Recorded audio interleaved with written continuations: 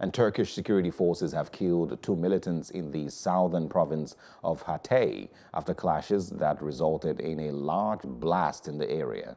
The militants were identified by authorities at a security checkpoint in Hatay's Payas district earlier on Monday.